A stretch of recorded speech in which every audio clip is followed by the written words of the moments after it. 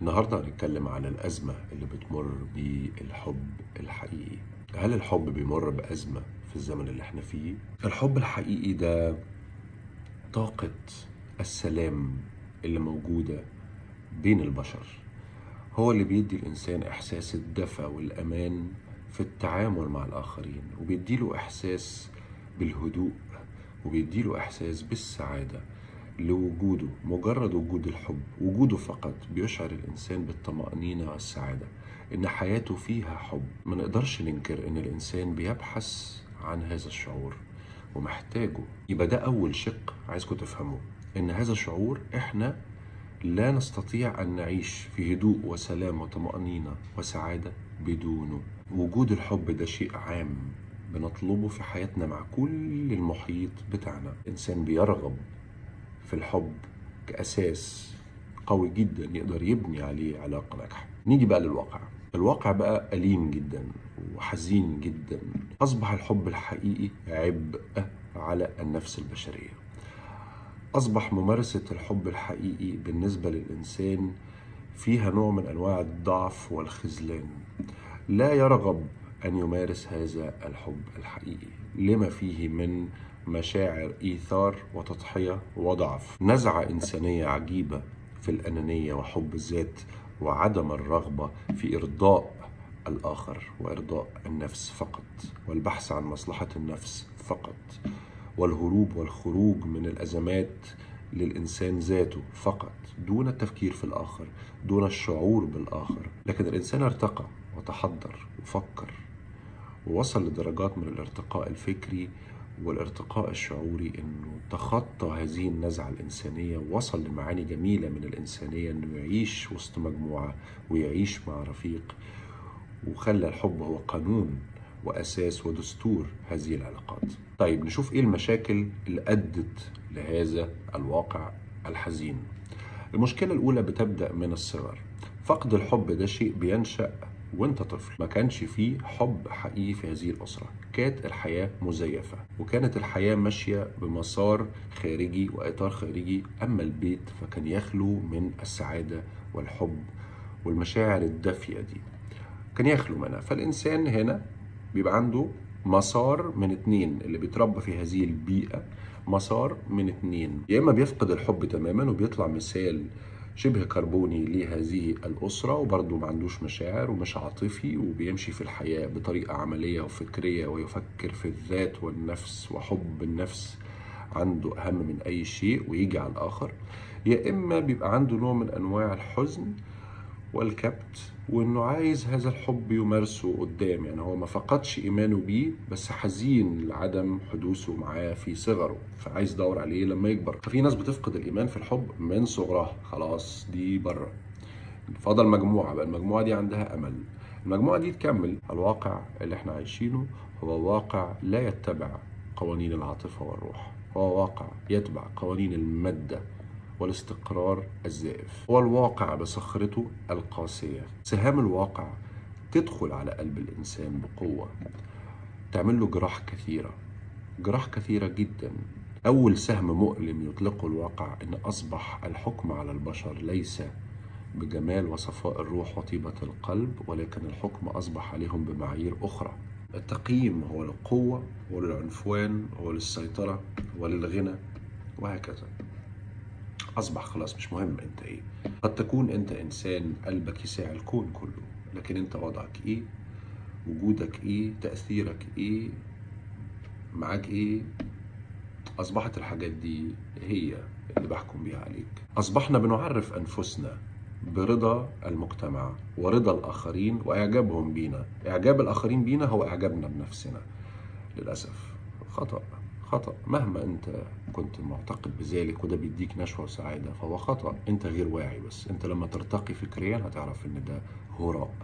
هتعرف إن ده مضيعة للروح والنفس وللوقت. يجي الإنسان اللي قلنا عليه بيدور على الحب ده يلاقي إن مفيش صدق في المشاعر حواليه.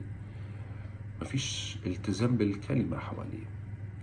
مفيش مراعاة لمشاعره. مفيش مراعاة لروحه مفيش مراعاة لأخلاقه مفيش مراعاة لصدقه مفيش مراعاة لرجاحة عقله مفيش مراعاة لقلبه. عايزين تعرفوا أزمة الحب الحقيقي؟ إيه؟ أزمة الحب الحقيقي إن الناس أصبحت لا تؤمن بيه ولا تؤمن بوجوده إلا في الأساطير وفي أحلامها وفي خيالها. أصبحت الناس بتدور عليه في علاقات عابرة في علاقات خيالية. ولما بتشوفه وبتلاقيه بتخاف منه الموضوع بيغير كل الفكر اللي هي بنته على مدار عمرها كله. كيف أعيش؟ واحد اتنين تلاتة. ظهر الحب ده هدم كل هذه المنظومة. فبالتالي أجري ورا الحب أنا بخسر كل حاجة أنا اعرفها في حياتي. لا لا مش عايز الحب. أنا أرجع لحياتي بلاش حب. يلا كمل حياتي. هذا ما يحدث. وهذه مشكلة الحب الحقيقي. إن الناس أصبحت ما بتترباش على وجوده. ما بتمارسوش ما بتشوفوش في طفولتها. أصبح الموضوع فكرة تبحث عن الفكرة. لما بتكبر مش بتلاقيها. تلاقي المجتمع مش بيمارسها. هكذا وهكذا. الإنسان بيفقد تعلقه بيها. فلما بيلاقيه بشكل صدفة أو بيلاقيه بطريقة معينة ما بيفهمش. إيه ده؟ ثم يبحث هذا الإنسان بعد كده عن السعادة والطمأنينة والهدوء ولا يجدهم ويسأل نفسه هو أنا ليه مش مبسوط؟ أنا ليه مش حاسس بأمان؟ أنا ليه دايما متوتر؟ أنا ليه دايما حاسس إن في شيء مفقود؟ هي دي الحلقة المفقودة. إن أنت عايش مش بمبدأ الحب الحقيقي في حياتك سواء في العلاقة أو مع الآخرين. يعني إحنا مركزين في العلاقات بس مع الآخرين. يعني الموضوع ده ممكن تاخدوه كمثل وتطبقوه على كل أنماط العلاقات البشرية سواء مع الأسرة مع الأصدقاء مع الزمايل مع الناس اللي ما تعرفهمش حتى. الناس انقسمت ثلاث أقسام. قسم لم يعد يؤمن بوجوده هو مش مؤمن بوجوده من البداية.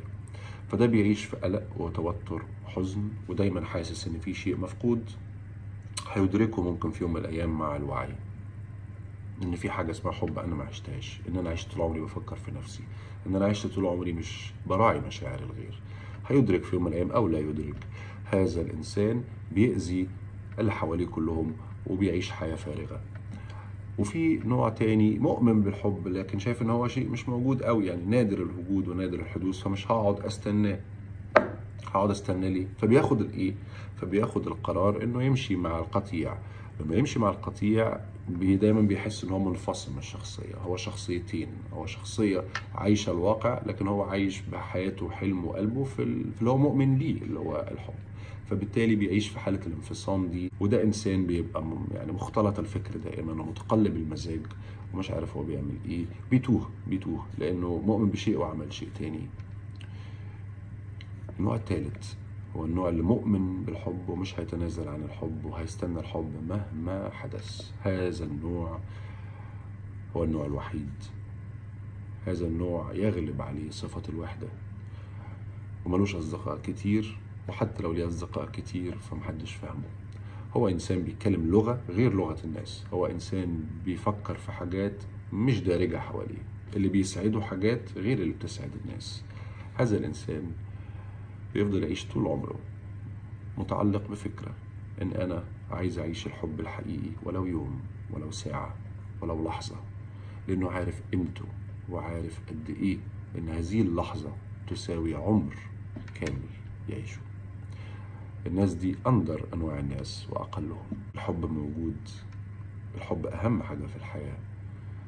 الحب هو الأساس هو طاقة الخير هو طاقة السعادة هو طاقة الهدوء النفسي الدفى الأمان إحساس الراحة كل هذه المشاعر اللي الإنسان بيعيش طول عمره بيدور عليها موجودة في هذا الشعور الحب.